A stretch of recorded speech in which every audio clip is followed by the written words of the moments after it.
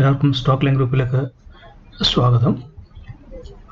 നമ്മളിന്ന് ഡിസ്കസ് ചെയ്യുന്നത് ഈ പ്രൊഫഷണൽ ട്രേഡേഴ്സ് മൾട്ടിപ്പിൾ ഡിസ്പ്ലേ ഉപയോഗിക്കാറുണ്ട്. അപ്പോൾ അതെങ്ങനെ സെറ്റ് ചെയ്യാം എന്നുള്ളത് നമ്മളിന്ന് ഈ വീഡിയോയിൽ കൂടെ മനസ്സിലാക്കാനായിട്ട് ശ്രമിക്കുന്നത്. അപ്പോൾ നമ്മുടെ സാധാരണ വീഡിയോസ് നമുക്ക് നമ്മുടെ സ്റ്റഡി മെറ്റീരിയലാണ് നമ്മൾ സ്ക്രീനിൽ കൂടെ കാണിക്കുന്നത്. പക്ഷേ ഇത് രണ്ട് സ്ക്രീനിൽ കൂടെ ആകുമ്പോൾ നമുക്ക് കാണിക്കാനുള്ള ലിമിറ്റേഷൻസ് ഉണ്ട്. കാരണം നമ്മുടെ ക്യാമറയിൽ കൂടെ അല്ല നമ്മൾ റെക്കോർഡ് ചെയ്യുന്നത്. നമ്മുടെ സ്ക്രീൻ ഷോട്ടിൽ കൂടെയാണ് നമ്മൾ നമ്മുടെ കമ്പ്യൂട്ടറിന്റെ സ്ക്രീനാണ് റെക്കോർഡ് ചെയ്യുന്നത്. അപ്പം രണ്ട് മോണിറ്റർ കൂടെ ഒന്നിച്ച് കാണിക്കാനായിട്ട് പ്രയാസമുണ്ട്. അപ്പം എനിക്ക് പറ്റുന്ന രീതിയിൽ നിങ്ങൾക്കത് പറയാൻ മനസ്സിലാക്കി തരാം. Okay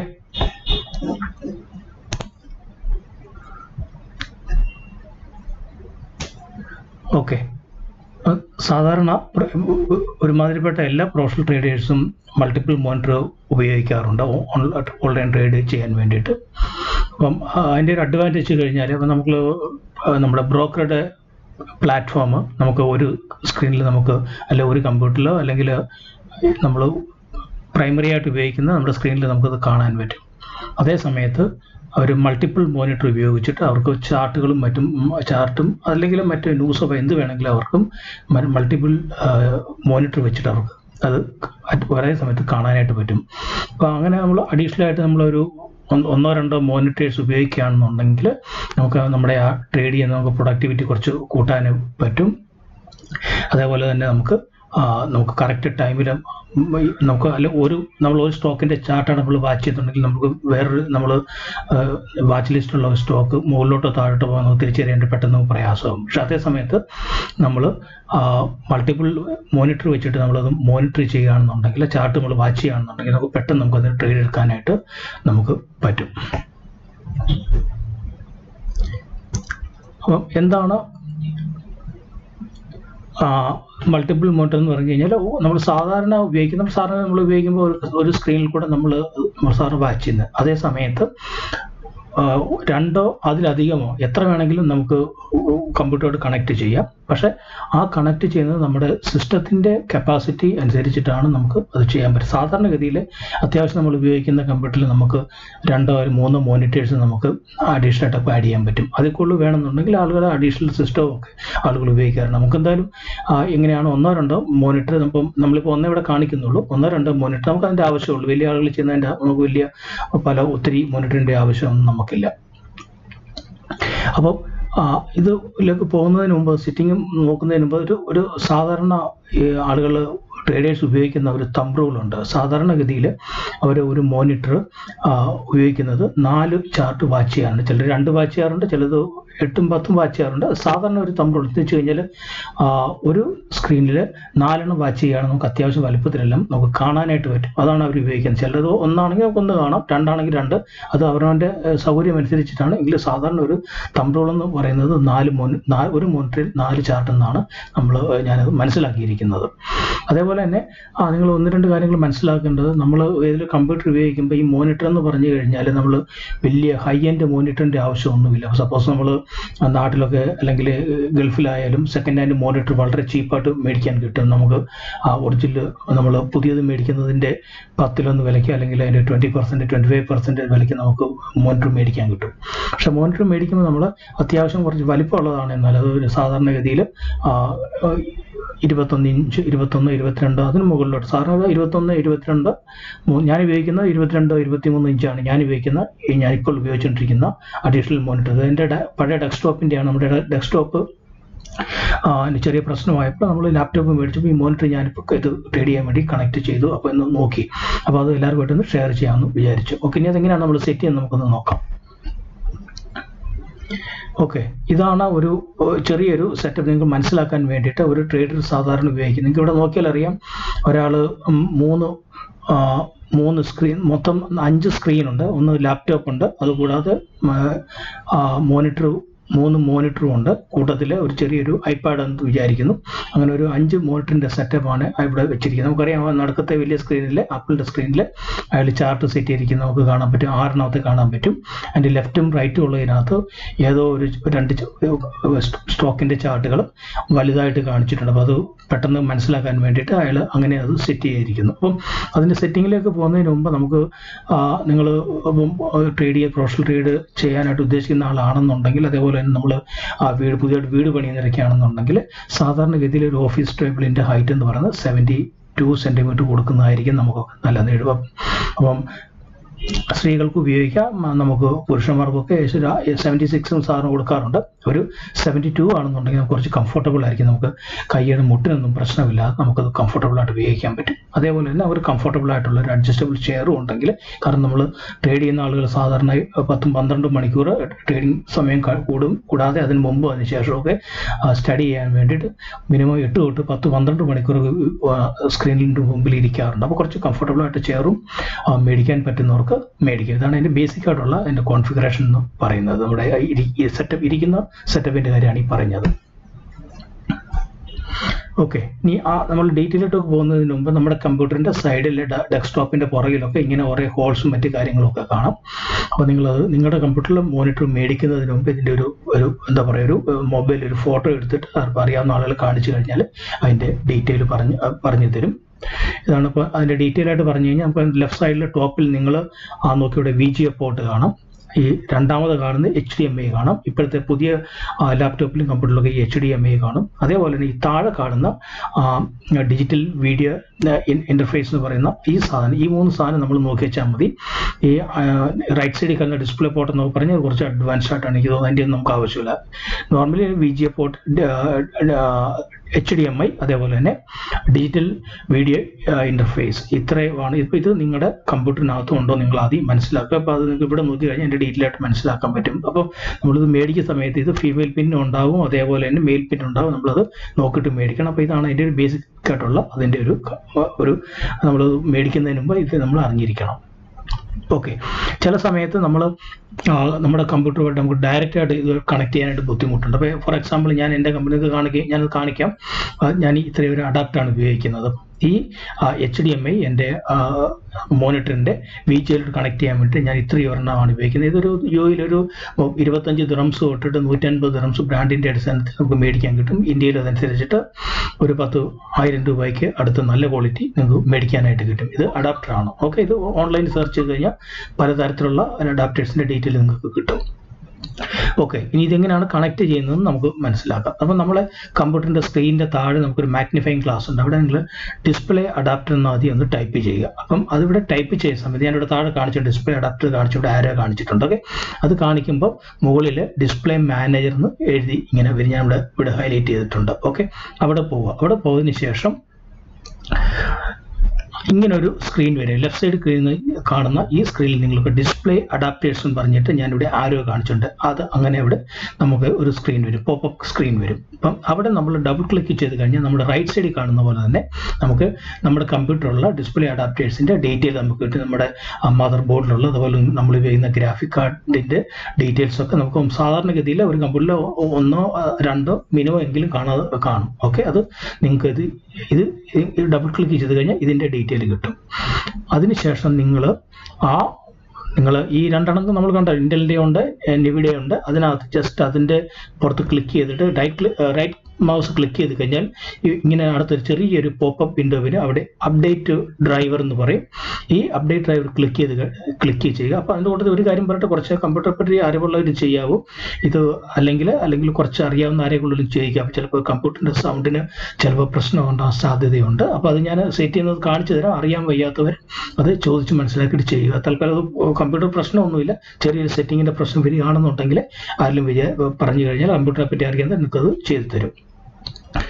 ഓക്കെ അപ്പോൾ അത് ചെയ്തതിന് ശേഷം നിങ്ങൾ അത് നമ്മളത് അപ്ഡേറ്റ് ചെയ്ത് കഴിഞ്ഞാൽ നമുക്ക് ഇങ്ങനെ സ്ക്രീൻ ചെയ്യും നമുക്ക് നമ്മുടെ നമ്മൾ ഏത് കമ്പ്യൂട്ടറിന്റെ ഏത് ഗ്രാഫിക് കാർഡിന്റെ സൗണ്ടിന്റെ സോഫ്റ്റ്വെയർ ആണ് നമുക്ക് വേണ്ടത്. ഓട്ടോമാറ്റിക്കലി അത് അപ്ഡേറ്റ് ചെയ്യാനുള്ള ഇത് വരും. നമ്മൾ ക്ലിക്ക് അവിടെ നമ്മൾ ക്ലിക്ക് ചെയ്യുക. അപ്പോൾ ക്ലിക്ക് ചെയ്ത് കഴിയുമ്പോൾ നമുക്ക് അടുത്ത സ്ക്രീൻ വരും. അപ്പോൾ നമ്മുടെ അത് ഓട്ടോമാറ്റിക്കലി ഓൺലൈനിൽ അത് സെർച്ച് ചെയ്യും. ഇതിന്റെ ഇന്റർനെറ്റ് കണക്ഷൻ വേണം. അത് നിങ്ങൾ മറക്കരുത് കൊണ്ട്? അവിടെ അത് അവിടെ ഓൺലൈനിൽ ഏത് ഡ്രൈവറാണ് നമ്മൾ ഉപയോഗിക്കുന്നത്? അത് സെർച്ച് ചെയ്തിട്ട് ഓട്ടോമാറ്റിക്കലി അത് അപ്ഡേറ്റ് ആകും. ഓക്കെ അപ്ഡേറ്റ് ആയി കഴിഞ്ഞാൽ ഒരു പ്രാവശ്യം അത് അപ്ഡേറ്റ് ചെയ്ത് കഴിഞ്ഞ് ഇൻസ്റ്റാൾ ചെയ്ത് കഴിഞ്ഞാൽ ഇങ്ങനൊരു സ്ക്രീൻ വരും. അപ്പോൾ ഇത് ചെയ്ത് കഴിഞ്ഞാൽ അപ്പോൾ അത് ചോദിക്കും കമ്പ്യൂട്ടർ റീസ്റ്റാർട്ട് ചെയ്യട്ടെ എന്ന് ചോദിക്കും. അപ്പം നിങ്ങളത് രണ്ടാമത് ഇത് ഓക്കെ അടിച്ചതിന് ശേഷം ഇത് ഇത് കമ്പ്യൂട്ടർ നമ്മുടെ കമ്പ്യൂട്ടർ ലാപ്ടോപ്പ് ഡെസ്ക്ടോപ്പ് അത് റീസ്റ്റാർട്ട് ചെയ്യുക. ഓക്കെ റീസ്റ്റാർട്ട് ചെയ്തതിന് ശേഷം നമുക്ക് ആ നമ്മുടെ ഓപ്പൺ സൗണ്ട് സെറ്റിംഗ് താഴെ നമ്മുടെ ആ മറ്റേ ഒരു സ്പീക്കറിന്റെ അവിടെ ഇത് കാണുമല്ലോ. അല്ലെങ്കിൽ നമ്മുടെ ടൈപ്പ് ചെയ്ത് കൊടുക്കുക. ഇതേപോലെ ഓപ്പൺ സൗണ്ട് സെറ്റിംഗ് എന്ന് പറഞ്ഞാൽ നമുക്ക് ഇങ്ങനെ ഒരു ഡിസ്പ്ലേ കാർഡ് വരും. ഞാൻ കാണിച്ചു തരാം. അപ്പോൾ അവിടെ നമുക്ക് ഇങ്ങനെ രണ്ട് മൂന്ന് തരത്തിലുള്ള നമ്മുടെ കാർഡിന്റെ സൗണ്ട് കാർഡിന്റെ ഡീറ്റെയിൽസ് കാണും. അത് മാർക്ക് ക്ലിക്ക് ചെയ്ത് കഴിഞ്ഞാൽ നമുക്ക് സൗണ്ടിന് പ്രശ്നമുണ്ടെങ്കിൽ അത് മാർക്ക് കിട്ടും അതിന്റെ വോളിയം നോക്കുക. ഇവിടെ ഞാൻ ഹൺഡ്രഡ് പെർസെന്റേജ് കൊടുത്തിട്ടുണ്ട്. ഓക്കെ അപ്പോൾ നമ്മുടെ ഇതിൽ പ്രശ്നം വരികയാണെന്നുണ്ടെങ്കിൽ നിങ്ങൾക്കത് അങ്ങനെ സോൾവ് ചെയ്യാൻ പറ്റും. രണ്ട് അത് ചെയ്ത് രണ്ടാമത് കമ്പ്യൂട്ടർ റീസ്റ്റാർട്ട് ചെയ്തതിന് ശേഷം നമ്മുടെ സ്ക്രീൻ നമ്മുടെ മോണിറ്ററിന്റെ ഡിസ്പ്ലേ നമ്മൾ ജസ്റ്റ് റൈറ്റ് ക്ലിക്ക് മൗസ് ചെയ്യുമ്പോൾ ഒരു പോപ്പപ്പ് വിൻഡോ വരും. അവിടെ താഴെ ഡിസ്പ്ലേ സെറ്റിംഗ് അല്ലെങ്കിൽ പേഴ്സണലൈസ് എന്ന് പറഞ്ഞിട്ട് ഒരു ഇങ്ങനെ ഒരു തെളിഞ്ഞു വരും. അപ്പോൾ നിങ്ങൾ അവിടെ അത് ക്ലിക്ക് ചെയ്യുക. അത് ക്ലിക്ക് ചെയ്ത് കഴിയുമ്പോൾ നിങ്ങൾക്ക് ഇങ്ങനെ ഒരു ഡിസ്പ്ലേയുടെ ഒരു സ്ക്രീൻ വരും.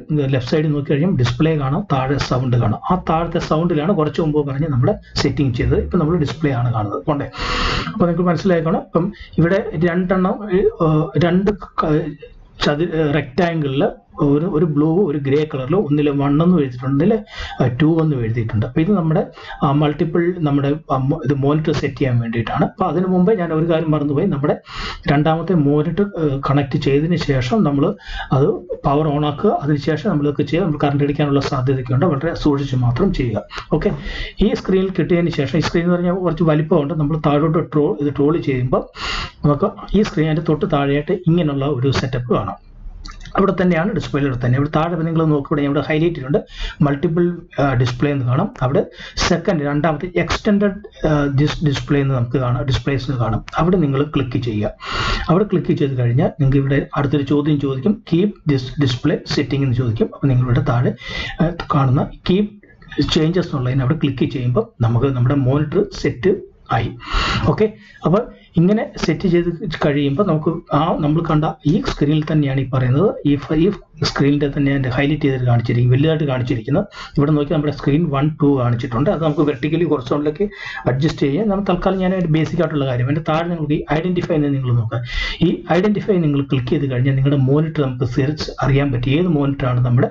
Monitor one monitor two for example ഞാൻ ലാപ്ടോപ്പ് ഉപയോഗിക്കുന്നതുകൊണ്ട് എന്റെ മോണിറ്റർ വണ്ണും എന്റെ ഡെസ്ക്ടോപ്പിൽ മോണിറ്റർ ടു ആയിട്ടായിരിക്കും കാണിക്കുന്നത്. അപ്പോൾ നിങ്ങൾ അതിങ്ങനെ അവിടെ ജസ്റ്റ് ഇവിടെ ഐഡന്റിഫൈ എന്നുള്ള ഒരു എന്താ പറയുക അവിടെ നിന്ന് പ്രസ് ചെയ്ത് കഴിഞ്ഞാൽ അല്ലെങ്കിൽ ക്ലിക്ക് ചെയ്ത് കഴിഞ്ഞാൽ അവിടെ ഐഡന്റിഫൈ ഇപ്പം മൂന്ന് മോണിറ്റർ ഉണ്ടെങ്കിൽ മൂന്നും കാണിക്കും. അപ്പോൾ ഒരു കാര്യം ഓർക്കുക നിങ്ങൾ ഒന്നിൽ കൂടുതൽ രണ്ടിൽ കൂടുതൽ മോണിറ്റർ ഉപയോഗിക്കുന്നുണ്ടെങ്കിൽ ഈ പറയുന്ന സെറ്റിങ് ആദ്യം ഒരെണ്ണം സെറ്റ് ചെയ്തതിന് ശേഷം വേണം രണ്ടാമത്തെ വീട് ഒറ്റ ടൈമിൽ രണ്ട് മൂന്ന് നാല് മോണിറ്റർ ചെയ്യരുത്.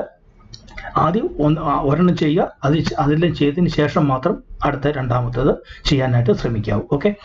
അപ്പോൾ അതിനുശേഷം നിങ്ങൾക്ക് നമ്മുടെ മോണിറ്റർ പല രീതിയിലുള്ള മോണിറ്റേഴ്സ് ഉണ്ട്. നമ്മളിപ്പം എച്ച് ഡി മോണിറ്ററാണ് ഞാൻ ഉപയോഗിക്കുന്നത്. അപ്പോൾ അതിന്റെ അതിന്റെ സെറ്റിംഗ് നിങ്ങൾ സ്ക്രീനിൽ നോക്കിയിട്ടുള്ള ആ സ്ക്രീനിൽ നമ്മുടെ സെറ്റിംഗ് കൂടെ ഇവിടെ സെലക്ട് ചെയ്യുക. അവിടെ ഓക്കെ അടിച്ചിട്ട് ഇവിടെ അപ്ലൈ ചെയ്ത് കഴിഞ്ഞ് നമ്മുടെ അത് നമുക്ക് കിട്ടും. ഇവിടെ നിങ്ങളുടെ കാണാൻ പറ്റും. സ്ക്രീൻ വൺ ആൻഡ് ടു എന്ന് നമുക്ക് കാണാനായിട്ട് പറ്റും. ഓക്കെ? ഇങ്ങനെ ചെയ്തതിന് ശേഷം നമ്മൾ നമ്മുടെ നമ്മുടെ ഒന്ന് നമ്മുടെ എന്താ പറയുക ഇത് നമ്മുടെ നമ്മുടെ ബ്രോക്കറുടെ ഇത് തുറക്കുക ഒരു ഗൂഗിളിൽ തുറക്കുക വേറൊരു ബ്രൗസറിൽ നമ്മുടെ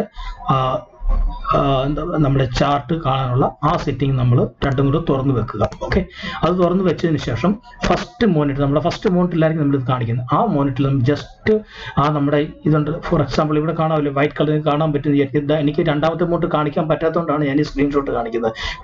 Drag and drop to second മോണിറ്ററിൽ ഇവിടെ നിങ്ങൾ ഇവിടെ ആ അതിന്റെ പുറത്ത് നമ്മൾ ജസ്റ്റ് മൗസ് പ്രസ് ചെയ്യുക. എന്നിട്ട് ലെഫ്റ്റ് മൗസിന്റെ ബട്ടൺ പ്രസ് ചെയ്ത് കഴിഞ്ഞ് ജസ്റ്റ് ഡ്രാഗ് ചെയ്ത് കഴിഞ്ഞ് ഇവിടെ ഡ്രാഗിന്റെ സിമ്പിളും കാണാൻ പറ്റും. ഇവിടെ ലെഫ്റ്റ് ഇതിൽ നിന്ന് ലെഫ്റ്റിലോട്ടാണ് അപ്പോൾ നമ്മുടെ നമ്മുടെ മോണിറ്റർ നമ്മുടെ ഫസ്റ്റ് മോണിറ്റർ വണ്ണും സെക്കൻഡ് മോണിറ്റർ ടു ആയതുകൊണ്ട് നമ്മൾ റൈറ്റിലോട്ട് വേണം ചെയ്യാനായിട്ട്. സെക്കൻഡ് റൈറ്റ് ലെഫ്റ്റ് സൈഡിലാണ് ലെഫ്റ്റിലോട്ട് ചെയ്യണം ഇപ്പം അതിന് ഇതിന് ഓപ്പോസിറ്റ് ആയിട്ട് വേണം നിങ്ങൾ ഇത് ചെയ്യാനായിട്ട്. ഓക്കെ അങ്ങനെ ചെയ്ത് കഴിയുമ്പോൾ നിങ്ങൾക്ക് ഇതേപോലെ ഇപ്പം എന്റെ കമ്പ്യൂട്ടറിന്റെ ഞാൻ മൊബൈൽ എടുത്ത ഫോട്ടോയാണ് നിങ്ങൾ ഇവിടെ കാണിച്ചിരിക്കുന്നത്. എന്റെ ലാപ്ടോപ്പിൽ നമ്മുടെ ബ്രോക്കറുടെ പ്ലാറ്റ്ഫോമാണ് ഇവിടെ കാണുന്നത്. റൈറ്റ് സൈഡിൽ ഞാനിവിടെ ചാർട്ടിൽ നിങ്ങൾക്ക് ഇവിടെ ചാർട്ട് കാണാൻ പറ്റും. എനിക്ക് എനിക്ക് ഇത് ചാർട്ട് നോക്കിയിട്ട് മോണിറ്റർ ചെയ്യാൻ പറ്റും. നമുക്ക് ഒന്നിൽ കൂടുതൽ നമുക്ക് വിൻഡോ കൊടുത്തു കഴിഞ്ഞാൽ എത്ര വേണേലും നമുക്ക് കാണാനായിട്ട് പറ്റും. ഓക്കെ കുറച്ചുകൂടെ ക്ലാരിറ്റിക്ക് വേണ്ടി നോക്കുക. ഇവിടെ ഞാനിവിടെ ഇവിടെ എന്റെ വാച്ച് ലിസ്റ്റ് ഉണ്ട്. അതിനകത്ത് നാല് സ്റ്റോക്ക് ഞാനിവിടെ വാച്ച് ചെയ്യുന്നത് നിങ്ങൾക്ക് ഇവിടെ കാണാനായിട്ട് പറ്റും. ഓക്കെ കുറച്ച് ക്ലാരിറ്റിക്ക് വേണ്ടി ഞാൻ കുറച്ച് ഹൈലൈറ്റ് ചെയ്തിട്ടും ഇവിടെ കാണിച്ചു വലുതായിട്ട് മോണിറ്റർ ഉള്ളത് നിങ്ങൾക്ക് കാണിച്ചിട്ടുണ്ട്. അപ്പം അപ്പം നിങ്ങൾക്ക് ഓർത്ത് ഓർത്തിരിക്കേണ്ട ഒന്ന് രണ്ട് കാര്യങ്ങളെന്ന് പറഞ്ഞു കഴിഞ്ഞാൽ ഞാൻ ഞാൻ കുറച്ച് Uh, ഓക്കെ ഓർത്തിരിക്കേണ്ട ഒരു കാര്യം നമ്മൾ മോണിറ്റർ സെക്കൻഡ് മോണിറ്റർ റൈറ്റ് സൈഡിലാണെന്നുണ്ടെങ്കിൽ നമ്മൾ ഡ്രാഗ് ചെയ്യുന്ന സമയത്ത് ഇത് റൈറ്റിലോട്ട് വേണം ഡ്രാഗ് ചെയ്യാനായിട്ട്. നിങ്ങൾക്ക് റൈറ്റിലോട്ട് ഡ്രാഗ് ചെയ്ത് കഴിയുമ്പോൾ നിങ്ങൾക്ക് സംശയം തോന്നും എങ്ങനെയാണ് നിങ്ങൾ മോണിറ്ററിലോട്ട് വർക്ക് ചെയ്യുന്നത് നമ്മൾ നമ്മൾ അവിടെ എങ്ങനെ വേണം മോഡിഫൈ ചെയ്യണം? അല്ലെങ്കിൽ നമുക്ക് വേറെ ചാർട്ട് സെലക്ട് ചെയ്യണം അത് നമ്മുടെ ഈ പ്രൈമറി ഈ സ്ക്രീൻ ഉണ്ടല്ലോ. ആ സ്ക്രീനിന്റെ ഔട്ട് സൈഡിലോട്ട് കൊണ്ടുപോകുകയാണെന്നുണ്ടെങ്കിൽ നമുക്ക് ഓട്ടോമാറ്റിക്കലി അത് സെക്കൻഡ് മോണിറ്റർ മോണിറ്ററിലോട്ട് നമ്മുടെ ഇത് പോകുന്നത് കാണാം. അത് നമ്മുടെ മൗസ് പോകുന്നത് കാണാം. അവിടെ നമ്മൾ സാധാരണ ചെയ്യുന്ന പോലെ തന്നെ നമുക്ക് അത് പോകുന്നത് കാണാം. ഓക്കെ ഞാനത് കുറച്ച് കാര്യങ്ങൾ ഇത് പറഞ്ഞ കാര്യങ്ങൾ ലൈവായിട്ട് നിങ്ങൾ ജസ്റ്റ് ഒന്ന് കാണിക്കാം മൊത്തം കാണിക്കാൻ പറ്റില്ല. കാരണം ഓൾറെഡി സെറ്റ് ചെയ്ത് വെച്ചതുകൊണ്ട് ഞാൻ പെട്ടെന്നൊന്ന് കാണിക്കാം. ഓക്കെ അതിനുമുമ്പ് നമ്മുടെ സ്റ്റോക്ക് ലൈൻ വീഡിയോസ് ഗ്രൂപ്പിന്റെ വീഡിയോസ് കാണാനായിട്ട് ശ്രമിക്കുക ഷെയർ ചെയ്യുക. അതേപോലെ തന്നെ നമ്മുടെ ടെലഗ്രാം ഗ്രൂപ്പിൽ നമ്മൾ ഡെയിലി ട്രേഡിങ്ങിന്റെ ഡീറ്റെയിൽസ് നമ്മൾ ഇടാറുണ്ട്. താല്പര്യമുള്ളവർക്ക് അവിടെ ജോയിൻ ചെയ്യാൻ നമ്മുടെ അപ്ഡേറ്റ് ചെയ്ത കാര്യങ്ങളൊക്കെ നമുക്ക് അവിടെ നിങ്ങൾക്ക് അറിയാനായിട്ട് പറ്റും. ഓക്കെ ഇനി ഞാൻ ഇത് ലൈവായിട്ട് എങ്ങനെ ചെയ്യുന്നതെന്ന് ഞാൻ ഒന്ന് കാണിച്ചു തരാം താഴെ പോവുക ഇവിടെ പോയിട്ട് അഡാപ്റ്റർ എന്ന്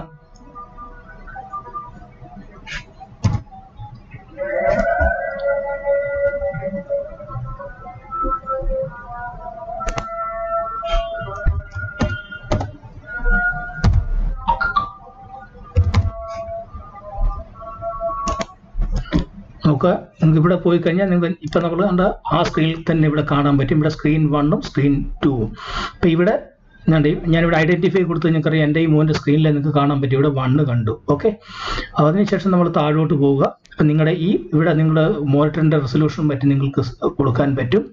അതിന് ഇതാണ് ഞാൻ പറഞ്ഞത്. താഴെ എക്സ്റ്റെൻഡ് ഇത് പറഞ്ഞിട്ട് നമുക്ക് സെലക്ട് ചെയ്യാനാണ്. പറഞ്ഞത് സെലക്ട് ചെയ്ത് കഴിഞ്ഞ് എന്റർ അടിച്ച് കഴിഞ്ഞാൽ നമ്മൾ ഓക്കെ അടിച്ച് കഴിഞ്ഞാൽ നമുക്ക് നമ്മുടെ സ്ക്രീനിന്റെ അത് നമുക്കെല്ലാം സെറ്റ് ചെയ്യാനായിട്ട് ഇത് ചെയ്യാനായിട്ട് പറ്റും. ബാക്കി നിങ്ങളത് നോക്കി മനസ്സിലാക്കുക. നമ്മുടെ വീഡിയോ ഓൾറെഡി ഇരു പതിനേഴ് മിനിറ്റ് കഴിഞ്ഞു.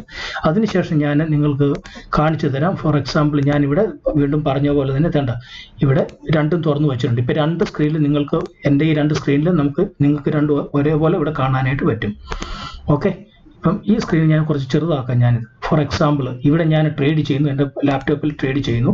ഇതാണ് എന്റെ എന്റെ രണ്ടാമത്തെ മോട്ടിലോട്ട് പോകുന്ന എന്റെ ചാർട്ട് റീഡിംഗ് ഉള്ളൂ അപ്പം ഞാൻ കുറച്ച് ചെറുതാക്കി. അപ്പോൾ അതിന് ബാക്കിലായിട്ട് ഞാൻ എന്റെ നിങ്ങൾക്ക് ഇതും കാണാനായിട്ട് പറ്റും. നോക്കുക. ഓക്കെ? നോക്കുക. അപ്പം നിങ്ങൾക്ക് രണ്ടും എന്റെ സ്ക്രീനിൽ നിങ്ങൾക്ക് കാണാൻ പറ്റുമല്ലോ. എന്നിട്ട് നമ്മൾ ഈ നമ്മുടെ ഈ രണ്ടാമത്തെ ഇത് പിടി ഫോർ എക്സാമ്പിൾ നിങ്ങൾക്ക് വേറെ നിങ്ങൾക്ക് വേറെ ചാർട്ട് ആഡ് ചെയ്യണമെന്നുണ്ടെങ്കിൽ കൺട്രോൾ സി പ്രസ് ചെയ്യുക. അതിന്റെ കൂടെ കൺട്രോൾ വി അടിക്കുക.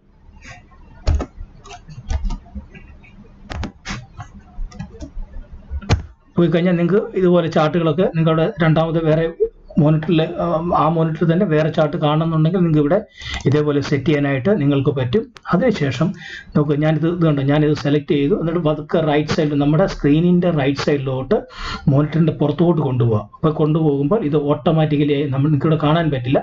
എന്റെ രണ്ടാമത്തെ മോണിറ്ററിലോട്ട് അത് പോകും. അവിടെ പോയി കഴിഞ്ഞാൽ നിങ്ങൾക്കത് വിൻഡോ വലുതായി കഴിഞ്ഞാൽ നിങ്ങൾക്ക് ഇതുപോലെ കാണാൻ പറ്റും. നിങ്ങൾക്ക് എല്ലാ കാര്യങ്ങളും അവിടെ ചെയ്യാനായിട്ട് പറ്റും. ഇപ്പം വീണ്ടും ഞാൻ കൾസർ തിരിച്ചു കൊണ്ടുവന്ന് കറിയാൻ പിന്നെ ലെഫ്റ്റോട്ട് കൊണ്ടുപോകുമ്പോൾ ഇവിടെ കൾസർ മൂവ് ചെയ്യുന്നത് നിങ്ങൾക്ക് കാണാൻ പറ്റും. ഓക്കെ? അപ്പോൾ ഇങ്ങനെയാണ് ഇത് നമ്മൾ ഇത് മോണിറ്റർ സെറ്റ് ചെയ്യുന്നത്. നിങ്ങൾക്ക് എന്തെങ്കിലും സംശയം ഉണ്ടെങ്കിൽ നമ്മൾ ടെലിഗ്രാം ചാനലിൽ കൂടെ ചോദിച്ചു കഴിഞ്ഞാൽ ഞാനത് നിങ്ങൾക്ക് പറഞ്ഞു തരാം. വീഡിയോ കണ്ടതിന് വളരെ നന്ദി. നമ്മൾ അടുത്ത വീഡിയോ നമുക്ക് നമ്മുടെ അടുത്ത സബ്ജക്റ്റ് എന്ന് പറഞ്ഞ എന്താണ് ഞാൻ ഇന്നലെ നമ്മുടെ ഗ്രൂപ്പിൽ ഞാൻ ഇട്ടിരുന്നു. നമ്മുടെ ഡൈവേർജൻസിനെ പറ്റി. ഓക്കെ റൈറ്റ് ഓക്കെ അതിന്റെ വീഡിയോ ഞാൻ താമസിക്കാതെ അപ്ലോഡ് ചെയ്യാം. Okay thank